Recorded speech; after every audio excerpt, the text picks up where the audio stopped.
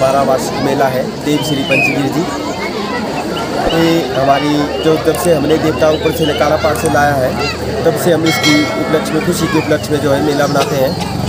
और अठाई प्रविष्टि जो हमारी जाग लगती है, और उनतीस प्रविष्टों को हमारा मेला शुरू होता है। और हमारे मेले में जो है माता चतुर्भुजा जी प्रस्थान करती हैं, और खुशी खुशी से हम नाचते गाते हुए मेले में आते हैं, और मेले से जाते भी हैं। और जो है हमारा जो मेला लगता है, वो उनतीस प्रविष्टियों को लगता है और उसके बाद जो है सीधा साझा लगता है और तो देव कमलनाथ जी का बकराना शुरू हो जाता है। ये सबसे बड़ा साझा होता है। जब से ये मेला की शुरुआत हुई है, ये बहुत तो अस्सी नब्बे साल से लग रहा है। जब से हमने देवता काले पाठ से लाया हुआ है, तब से ये मेला जो है शुरू हुआ है।